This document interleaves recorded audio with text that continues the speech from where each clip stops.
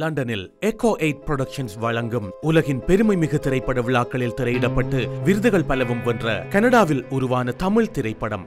பிப்ரவரி இருபத்தி ரெண்டு சனி மாலை ஆறு மணிக்கு வெம்ப்ளி லண்டன் டிசைன் அவுட்லெட் சினி வேர்ல்டில் புலம்பெயர் தமிழரின் வாழ்வை சொல்லும் a gun and array